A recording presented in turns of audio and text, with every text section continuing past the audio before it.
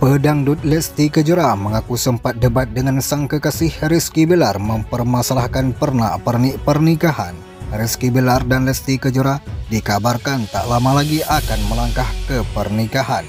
Meski tak diketahui secara pasti kapan hari bahagianya digelar, Rizky Bilar sempat membocorkan tempat pernikahan dari mereka.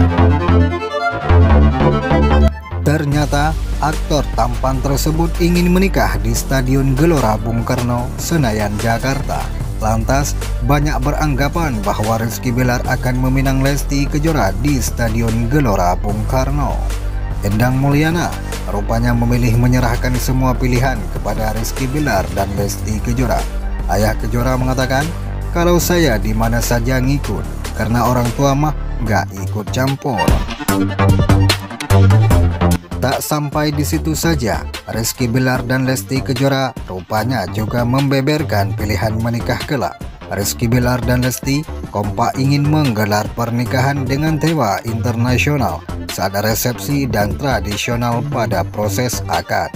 Kalau resepsi Dedi akan pilih yang internasional, kalau akad yang tradisional, ucap Lesti. Bilar menambahkan bahwa dirinya ingin mengusung adat Minang di pernikahannya kelak. Sedangkan Lesti Kejora malah berharap pernikahannya bernuansa Jawa Barat. Kalau aku sih karena nyokap Minang, ya adat Minang, bukan Sumatera Utara, ujar Rizky Bilar. Kalau Didi, Jawa Barat, kata Lesti.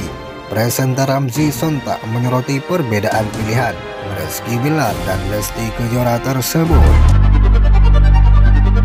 Lesti pun mengakui sempat berdebat dengan Rizky Bilar perihal pernikahannya. Mohon maaf, sudah berasa, kata Lesti Kejora.